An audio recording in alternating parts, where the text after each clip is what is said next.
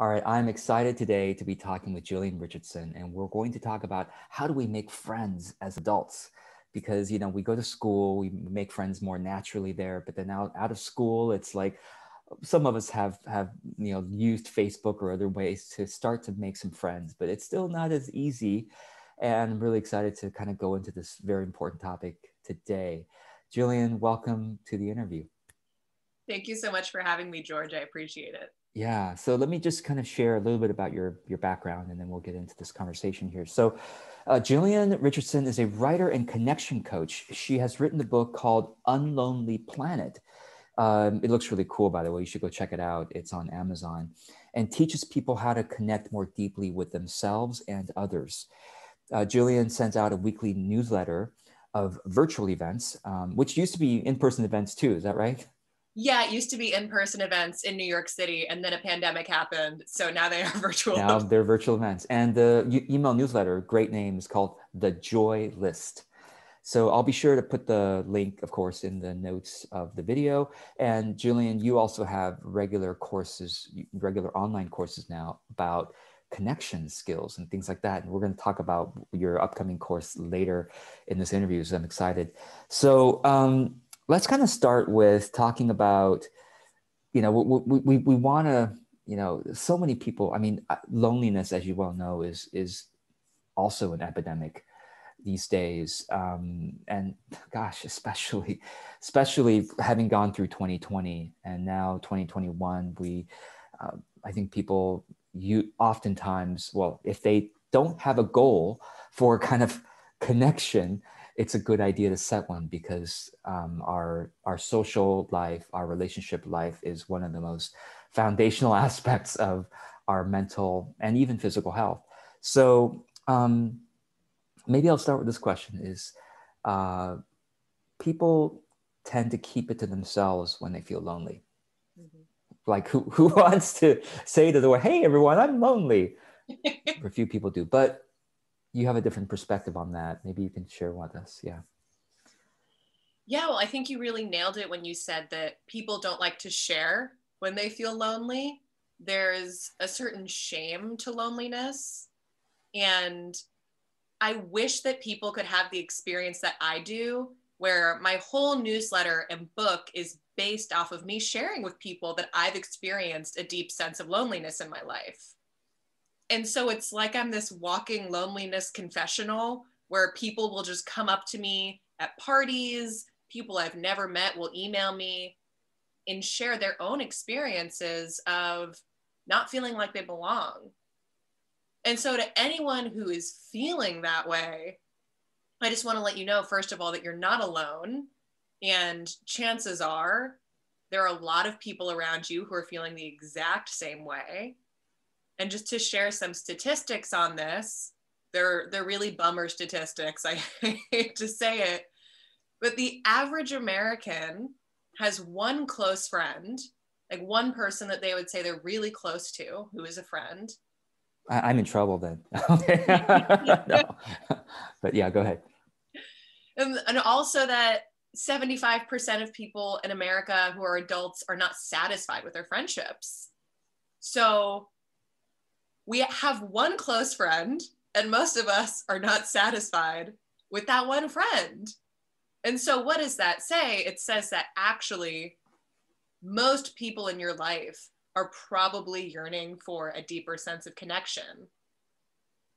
Yeah, yeah, absolutely. And um, just to make that connection to health, I, I just statistic always it, it, it floored me when I read it, and I, I I can see why. But basically, there's a connection between like loneliness and like physical health too. Like it's something yeah. like, it's like it's like being lonely is something like smoking a pack of cigarettes a day or something like that to your health to your heart yeah. it's like it has that effect on heart health which is fascinating right like right like your physical heart is affected by your emotional heart you know uh, obviously but um, that's amazing that it, you know one one close friend. Now, are, are is that does that include like one's significant other or no? that's a really good question. I my understanding is outside of a romantic partner. Okay, yeah. Uh, and just to touch on what you said about the the smoking, yeah, it's true because when we don't feel connected, like you said, it puts stress on our physical body because that's kind of at the lower end of Maslow's hierarchy of needs. Like we need to feel like we're protected by our tribe. And so it has an impact on early mortality hmm. just as much as smoking a pack of cigarettes a day, which is seven years off of your life. And that's how many years being an excessive drinker or being obese takes off of your life. And so just to think about in our health classes and stuff growing up, at least for me, how much you talk about the importance of exercise and diet. And I don't remember a single conversation about how to, for example, foster intimacy in relationships. Yeah, yeah, yeah. Let alone just how to make a friend. So let's let's get into that. So um, you know, I think at school, obviously, you you kind of have to work with somebody else, or you sit next to somebody else, and that kind of like friendship more naturally forms, or you're in you're in clubs or teams or whatever. But outside of school, you know, now that we're, you know, maybe in, in workplaces that you know there there might be some friendships that are a little bit more easily formed when you're working next to somebody. Um, a lot of people who are watching this are self-employed. Okay, so that means we're not working next to somebody anymore and we have to figure out how to kind of make friends again. So how yeah any you've written the whole book about you know about this kind of thing and you teach courses on it but so i know we can only touch a little bit about this but any tips on making friends as an adult? Yeah. The number one tip that i give people that i really feel like has the the highest roi but can feel really vulnerable is to publicly share that you're looking to meet people. Like this is a thing people in my friend group know me for is I constantly am posting online asking for help with things. And so for me, it doesn't feel that vulnerable anymore. And I know that it is. And so, kind of a template that I suggest for people is to say something along the lines of, like, maybe share this on Facebook, like, hey, I live in your city and i really want to meet more people who are into like meditation mindfulness entrepreneurship. Do you know anyone who fits that description? And people love helping on the internet and this is the easiest type of help because literally all they have to do is tag someone and that's it. And soon and this is especially helpful if you've moved to a new city you're going to have a list of people who you can reach out to and of course there's there's the vulnerability of actually reaching out. But i think just people soften when they see someone brave enough to admit like i'm looking to meet new people. I'm looking to make new friends. Because as i said before you're definitely not alone in that boat. Yeah yeah totally. Um, that's a brilliant idea. So um, i'm wondering do you see a difference or what what what's your view on virtual friendships versus in person like being able to get together with somebody on a regular basis like you, do you have any do you have any thoughts on that i'm just curious i know this you know maybe out of the blue question but i'm yeah but nowadays since since so many people hang out hang out uh, via zoom for example yeah. yeah i mean there is nothing that can replace the attunement that we can feel in an mm-hmm. in-person mm-hmm. connection yeah. like that experience of sitting across from someone on the couch and making eye contact and your bodies are facing each other. And if it's a person you you love just feeling that sense of trust and ease that's really special. And virtual connections can offer some things that in-person connections might not be able to. And this is a thing that i've had some people educate me on because kind of most of my identities are very uh, mainstream.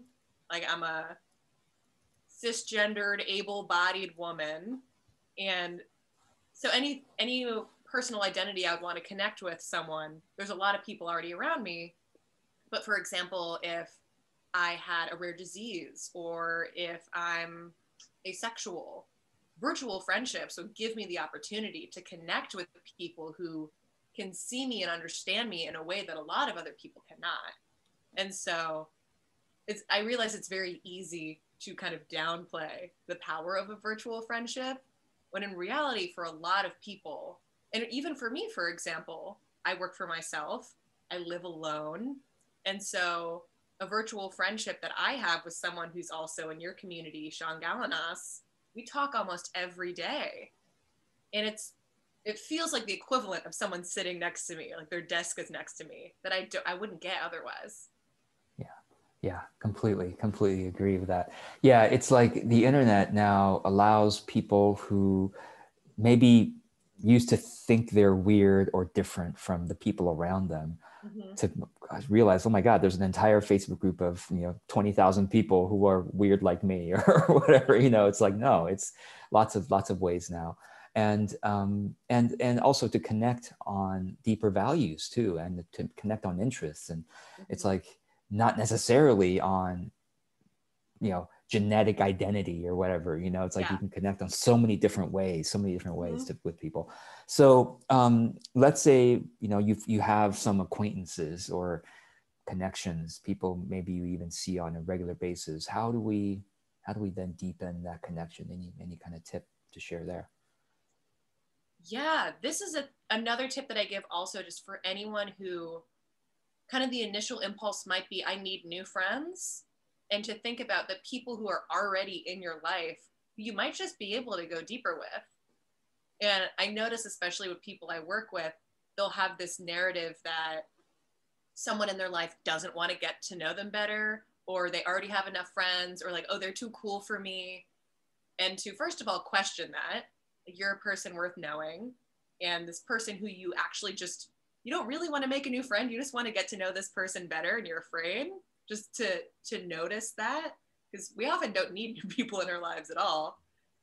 And then in order to deepen that relationship i invite people to think about the questions that you want to be asked the questions that you would be excited to have a conversation about.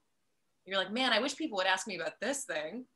Like you're in, you're in full right to start that conversation and so a question could sound like uh, what's something that you were obsessed with as a little kid?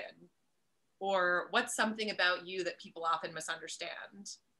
And a really great way to permission this type of question asking, because it might seem like out of character for you or kind of out of the blue, there are a ton of really popular card games that are all questions. And my favorite is called We're Not Really Strangers. And it kind of goes by level of vulnerability. So you start a kind of a more surface and you go deeper and deeper. And it's a really great way to get to know one person or a small group of people. It's like a great game for a family. Uh, i've done it with friends before and we've learned so many people i've lived with for multiple years we think we know everything about each other. You don't. Everyone's got these fun little secret layers that you've just got to ask the right question to unlock it wow that's so cool and maybe i'll i'll find that uh, and link it to below as well so people can check it out. Um, and one of the key skills, of course, in deepening a relationship is, um, you know, we've talked about asking questions, but also listening, listening to the other. And we, that's also something that few of us are ever taught or trained, trained in. So, um, any, anything you want to say about, about listening and kind of how do, how do we improve that? Yes. So listening and loneliness, I feel like have a lot in common in that people can feel shame when they have when they feel lonely, and people can also feel the sense of shame of not knowing how to be a better listener. Like, I think a lot of people have an awareness that they can bring the conversation back to themselves a lot, or when they get nervous. I, I can do this. When I get nervous, I just talk about myself. Oh my here, one second. My camera. oh yeah, the camera. I know this is uh, kind of ah! out of zoom. The camera is learning how to listen. there we go. Okay, okay. cool. Yeah. um, you. So we need to be trained in how to be a better listener. Just like as an adult, sometimes we need some help with making friends. It's totally normal. This is a thing I think about all the time, and I still really actively have to work on my listening skills because I get so excited to share like my stories, my opinions, my perspectives. And it, for me, it took a six month coach certification program, which is exclusively about the art of listening to people, for it to really hit home. like that's a lot of time to be trained in listening. And so one core takeaway that I got from that certification was pausing in conversation.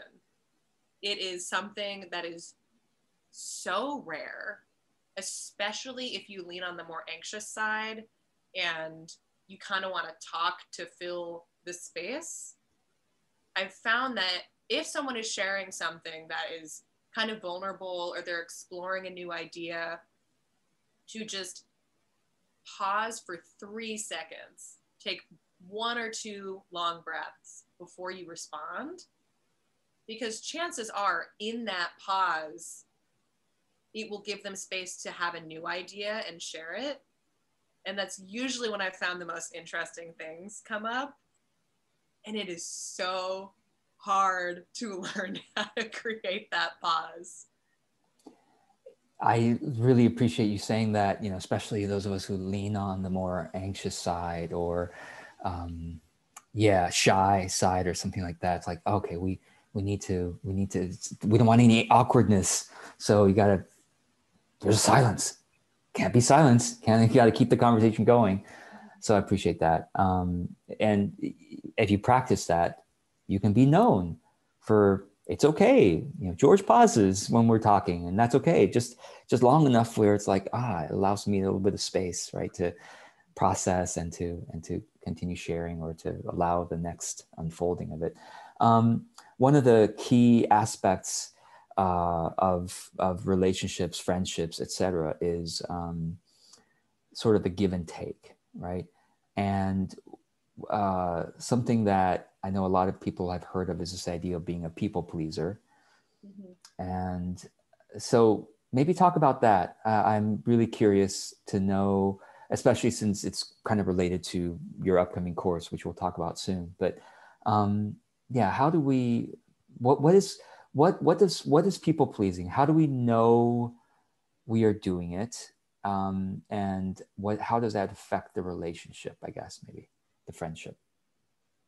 Yeah, so this topic, I feel like I kind of hit a gold mine. I was just polling my audience per one of your techniques on what they wanted to learn about. And I realized kind of between the lines of what everyone was saying, like people were saying things like, I feel like I change my personality depending on who I'm around. And I never want to ask for what I want because I'm afraid of hurting someone's feelings or if someone gives me a choice between two things i always say whatever you want even though i actually do have a preference but i just want to seem uh, easygoing.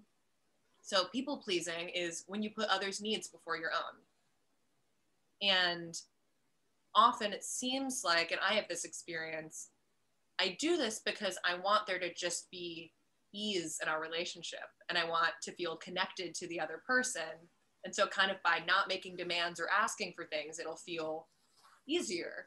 That's kind of the idea, that's the logic behind it. But the thing is, is that when we put our needs on the back burner, slowly resentment starts to build of the other person. And the inner dialogue kind of sounds like, don't they know that really I want this? And don't they understand that actually this is what I would like? And people aren't mind readers. If you tell them that you don't care, people are going to believe you. And so you're left with the complete opposite of what you wanted, which is a disconnected relationship. So I, I shared a video on Instagram this week, and it's one of the most popular videos I've shared. It seems like it's really resonated with people of this just flip of thinking that actually, when you start a conversation with someone, sharing what you need, sharing some sort of conflict, to start by saying, I'm sharing this with you because I want to feel more connected to you. That's really why you should be bringing up a conflict. If you're sharing a conflict because you want to shame or blame someone, maybe you just do that in your journal. like, that's not going to be a productive conversation. And just kind of that adjustment seems to have helped a lot of people feel less scared of bringing something up because the fear of course is if i share what i need this person's going to leave they're not going to like me anymore and really you're doing this with the short-term discomfort for the long term reward of having more connection and authenticity in your relationship. Wow, that's, that's such a wonderful way of reframing it because, yeah, it's like, it's the relationship isn't just, you know, 100% or even 70% what they want. you know, that's, that's not a relationship. It's, it's getting closer to a dictatorship, right? But it's like, okay, when it, when it's more 50, 50, when it's closer to that, then, and then how do you get there? Especially if those of us who want to make, make, always make the other person happy. It's like, no, no, no, you gotta, it's like, and, and sometimes I think we forget that the other person wants to meet our needs and wishes they understood us better. And if we don't communicate that often enough, they don't, it's just like you said, like we want, yeah, it's like we actually want our friends and our relationships to be mind readers. Like we, we all wish for that. Like we all, come on, you know me, you know me, you should know this. But it's like, well, they know us because we share. they know us because we reveal. You know, it's like reveal our needs and our. So um, yeah, so this this this that spectrum, you know, people pleasing, conflict, you know, et cetera. It's like it's so interesting, and I think a lot of us watching this, a lot of people watching this right now, um, well, I tend to draw. I probably tend to draw more people pleasing tending people to to my audience because you know uh, people who want more meaning and more caring and generosity, et cetera. So. So I want you to tell us about your upcoming course because I think it's really um, it's really important. Yes. The name of this course, again, inspired by one of your workshops to make it as specific as possible. Uh, so, this is conflict resolution for people pleasers. So, if you are someone who doesn't want to rock the boat because you're afraid the person's going to leave, if you put other people's needs before your own, and also if you don't know what your own needs are in the first place, this is a course for you. So, it's three weeks.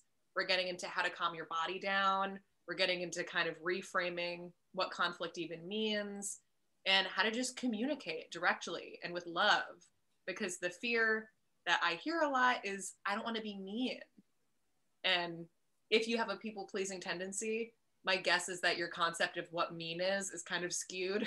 and actually, there's more room for bluntness and directness than you might think. So, we're going to get scripts, we're going to get tools, and for your audience, I want to offer 50% off because I love this community. It's been so helpful for me, like talking about virtual friendships, like people who want to run a business in a way that's authentic and heart centered and loving. It's been a big struggle for me to find people like that. And I, I feel like I've been kind of trying to grow my business in an inauthentic way. So having this community has been such a blessing for me. Wow, thank you so much. That's such a great deal. Um, I think what you already offered was already a, already good value, and now you're taking it up to. It's like, well, it's easy decision. So um, I will be sure to put the link in the notes below. Um, there's probably a coupon code uh, below as well.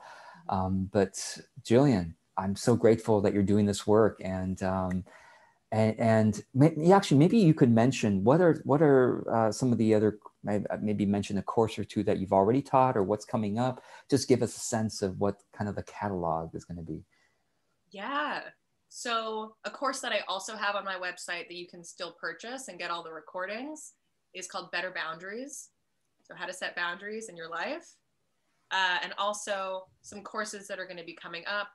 How to make friendships as an adult listening skills, self love, body love. All this stuff is coming up. That's so cool. And um, what kind of uh, sort of opportunity to connect um, do you kind of facilitate or allow for students in your courses? Just curious how you do, especially in, in the course, for example, on adult friendships, or like how do you how, how does that work? Yeah, so the courses uh, it will be very similar to the style that you run, where there's it's a recording and there's interaction in the chat, interaction in a resource document, and then also in a Facebook group. So for people who want to share more replying and interacting with each other, we'll have a Facebook group as well. Oh, that's that's great. That's really great. I usually only do that for like like my most expensive courses. So it's very generous that you're you're allowing you're allowing this. Well, um, Jillian, thank you so much uh, for for this offer from my audience. Be sure to you know those of you watching this, be sure to check it out. And um, yeah, just looking, and you have, I'll put any other social media links in there. So I know obviously Instagram is a place where you're really active. So folks, go check out what Jillian's content looks like in those places. Jillian, any parting words of encouragement as we step into this new year in terms of uh, building better connections? Hmm. I think I'll just say to give yourselves grace. If you're feeling super out of it and disconnected mm. and depressed and just low, given the context that we are in, that is so normal. The the ways that we typically connect with people have been taken away from us. And so just know like your your animal body is missing a vital nutrient. And so you're gonna be a little off. It's not forever. It just be kind to yourself. Yeah, yeah. Thank you. That's that's beautiful advice to end with. Thank you so much, Jillian.